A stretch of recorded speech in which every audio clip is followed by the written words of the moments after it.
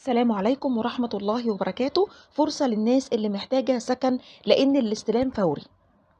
في الفيديو ده هقول لكم الشروط وهشرح لكم الموضوع بمنتهى البساطة.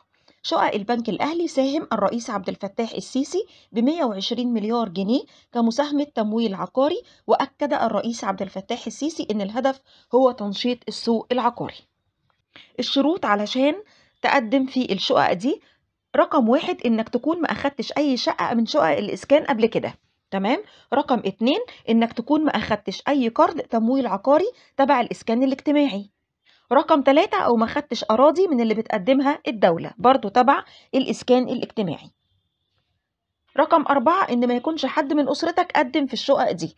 في نقطة مهمة جدا هنعرضها لو عندك شقة تمليك باسمك ما كانش ينفع إنك تقدم في التمويل العقاري أو الشقق اللي بيقدمها البنك الأهلي لكن البنك الأهلي لغى الشرط ده ولو أنت عندك شقة أو عندك بيت باسمك أو عندك قطعة أرض باسمك أنت تقدر تقدم في الشقق اللي بيقدمها البنك الأهلي ولو بتتناسب معاه عليك الشروط تقدر إن أنت تاخد شقة من اللي بيقدمها البنك الأهلي. حتى لو أنت أخدت كارد ولسه الكارد دوت أنت بتسدده برضو تقدر إنك تقدم في شقق البنك الأهلي. مواصفاتها إيه؟ نوعين من الشقق. النوع الأولاني كامله التشطيب سوبر لوكس. المساحة 150 متر.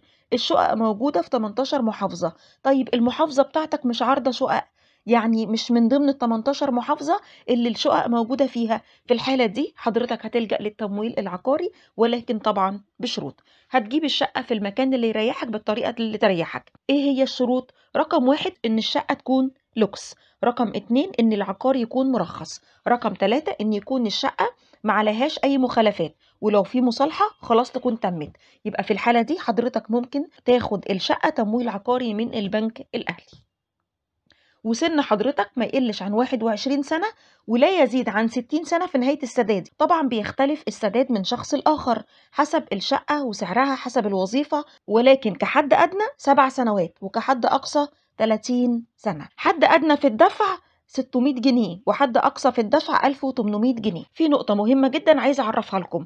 لو حضرتك أخدت شقة من البنك الأهلي أو سواء كانت من الشقق المقدمة من البنك الأهلي أو تمويل عقاري بتمضي عقد مع البنك الأهلي حظر بيع أو إيجار لمدة سبع سنوات. حضرتك بتستلم الشقة خلال شهر أو اتنين بالكتير لكن ما بتبقاش حر التصرف فيها لمدة سبع سنوات.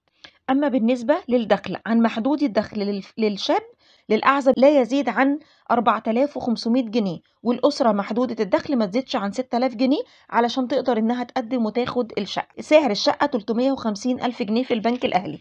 ولو حضرتك هتجيب تمويل عقاري برضو تراعي إن سعر الشقة لا يتخطى 350 ألف جنيه. بتتراوح الأسعار من 450 ألف جنيه لمليون جنيه على حسب مساحة الشقة وعلى حسب مكانها كمان. 70 متر و90 متر و150 متر. ولو حضرتك هتجيب شقق أهالي أو تمويل عقاري برضو تراعي إن هي تبدأ من 450 ألف جنيه وما تتعداش المليون جنيه. تمام. في بقى عندنا ميزة في السداد إن حضرتك ممكن تختار إنك تسد بالطريقة اللي تريحك.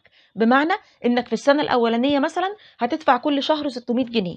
لكن في السنة التانية عارف إن الأمور ممكن تكون اختلفت معاك فهتقرر إنك تدفع 700 750 800 بالطريقة اللي تريحك أو العكس إنك هتبدأ بالمبلغ الكبير وبعدين تبدأ تقلل المبلغ. يعني مثلا السنة الأولانية والتانية والتالتة مثلا هتدفع ألف ونص وتيجي بعد كده السنة الرابعة والخامسة هتدفع مثلا ألف. يبقى أنت بتختار طريقة الدفع المناسبة ليك واللي تريحك. إن شاء الله الفيديو يكون فاتكم وبالتوفيق للجميع.